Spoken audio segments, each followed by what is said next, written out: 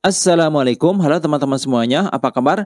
Ketika kita mendapatkan voice note di WhatsApp yang begitu panjang, maka kita harus mendengarkannya hingga tuntas tanpa bisa membalas chat yang lainnya. Kalaupun misalnya kita kembali dan ingin membalas chat, maka untuk voice note-nya akan mati dan tidak bisa diputar lagi. Nah, belum lama ini WhatsApp telah meluncurkan fitur baru yaitu untuk mendengarkan voice note yang panjang sambil kita membuka chat yang lainnya. Seperti ini contohnya. Misal kita membuka voice note yang panjang ya. Di sini kita bisa kembali dan untuk voice note tetap bisa diperdengarkan. Dan di sini kita bisa untuk membalas chat yang lainnya sambil tetap mendengarkan voice note.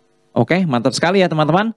Itu dia untuk fitur baru di WhatsApp pada kesempatan kali ini dan ini masih ada di versi beta ya. Jadi belum dirilis secara publish. Nah, buat kalian yang ingin mencobanya, silahkan kalian download saja untuk WhatsApp beta terbaru ini pada link yang ada di deskripsi video saya. Ya, terima kasih banyak sudah menonton. Wassalamualaikum warahmatullahi wabarakatuh.